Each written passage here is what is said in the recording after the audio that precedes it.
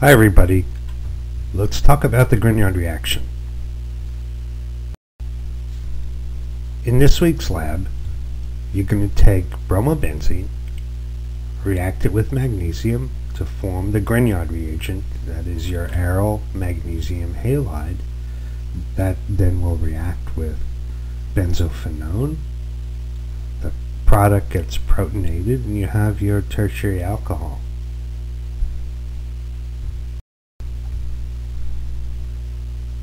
We use Grignard reagents as carbon nucleophiles.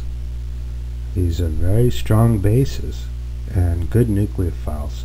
The reason is that you have a carbon, carbon atom attached to a very electropositive metal center. So uh, this is typical behavior for carbons attached to metal, so other organometallic reagents can behave this way as well.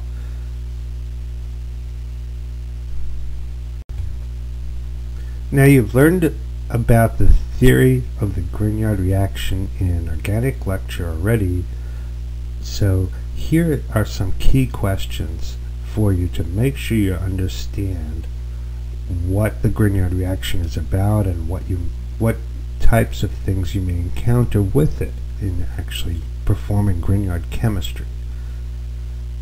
What's the reaction that occurs if a Grignard reagent contacts water a sulfhydryl, a primary or secondary amine, or a terminal alkyne. What is the reaction occurring during your workup? That is your acidification step. What type of compound forms when you react a Grignard reagent with an epoxide, an aldehyde, a ketone, an ester? Or how about carbon dioxide? Why is ether typically used and Grignard reactions. Grignard reagents are great ways to make carbon-carbon bonds, but mainly to carbonyl or epoxide electrophiles rather than with alkyl halide electrophiles. Why is that? What products occur if you react a Grignard reagent with an alkyl halide? What is the main type of chemistry that would occur there, and what type of other common organometallic reagent is preferred over the Grignard in order to create a carbon-carbon bond using an alkyl halide electrophile.